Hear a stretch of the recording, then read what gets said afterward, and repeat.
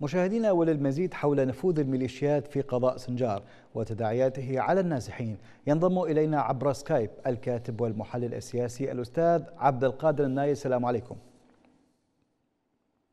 وعليكم السلام ورحمة الله وسهلا بكم وبمشاهديكم الكرام. حياكم الله. العائلات النازحة والعائدة إلى قضاء سنجار تعرضت إلى الضرب والاتهام بالإرهاب من قبل ميليشيات مسلحة تهددهم أيضا بالقتل في حال لم تغادر العوائل النازحة وتعود إلى مكان ما جاءت أين الدولة التي تقول أنها وفرت البيئة الآمنة لهؤلاء النازحين وبالمناسبة يتم غلق المخيمات اليوم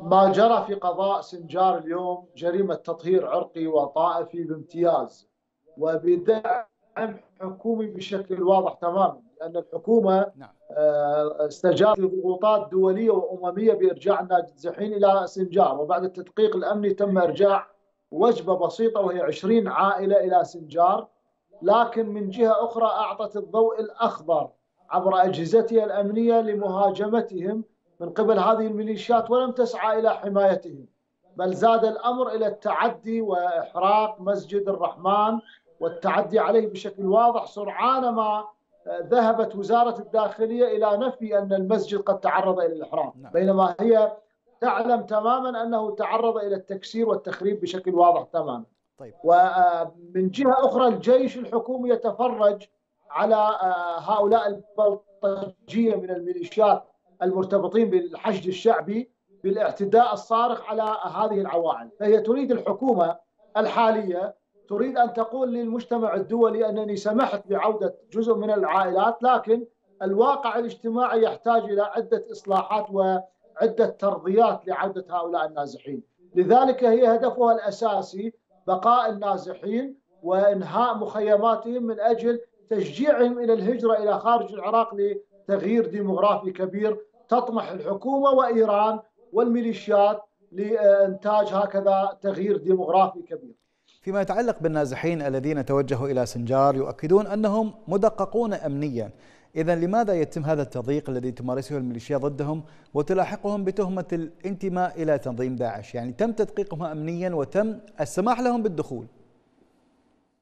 اولا كل العائلات الموجودة داخل المخيمات هي مدققة امنيا وبالتالي لو كانت هناك أي شائبة عليهم لجرى اعتقالهم داخل المخيمات لأن المخيمات عبارة عن سجن أمني كبير وبالتالي جرى عمليات تدقيق واسعة عليهم وجمع معلومات كبيرة عليهم.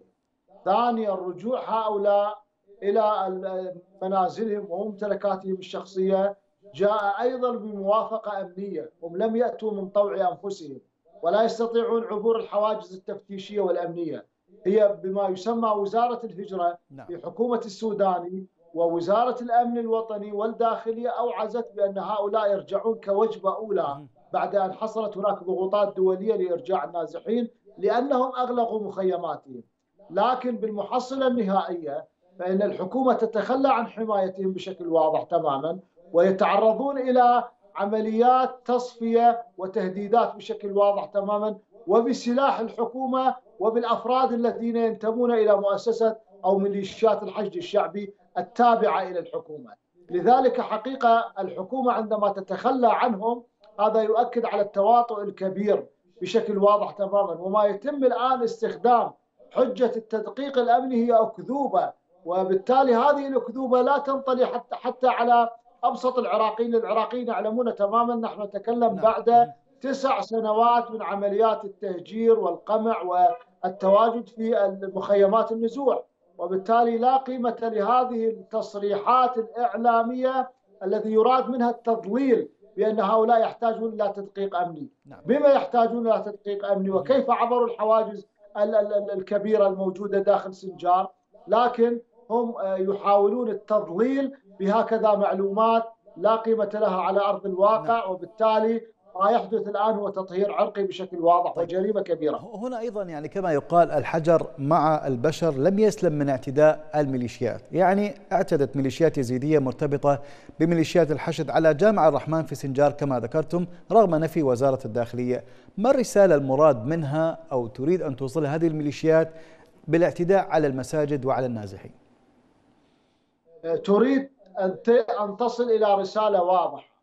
بأن المكون السني لا يمكن العودة إلى مناطقهم وإلى ممتلكاتهم وإلى مساجدهم. وبالتالي كما تعلم أن المسجد آه، هو هوية واضحة للمنطقة الموجودة فيه نعم. هوية السكان. فلذلك عندما يعتدون على المسجد ويعتدون على ممتلكات المواطنين فإنهم يريدون أن يوصلوا رسالة أن الميليشيات الأزيدية والبككة والذي هي منظمة أجنبية غير عراقية وميليشيات الحشد المرتبطة بإيران كلهم متفقون على عودة المكون السني إلى قضاء سنجار والذي يمثل نسبة كبيرة نعم. وبالتالي هم يعمدون على التعمد في عملية التطهير العرقي وغياب القانون في العراق والقضاء على إصدار أوامر القبض على هؤلاء المعتدين يؤكد على أن الجريمة منظمة برعاية حكومية وبتواطؤ من القضاء الحكومي في العراق نعم.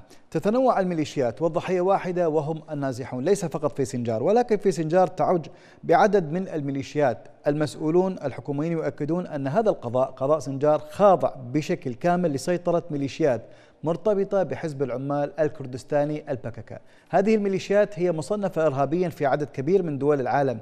بالتالي ما رأيك بأن تتحكم هذه الميليشيات بقضاء سنجار؟ لماذا يعني؟ لأن إيران تريد هذا القضاء وهذا القضاء يمتد بأنفاق تحت الأرض لتهريب المخدرات والسلاح والميليشيات إلى الجانب السوري نعم.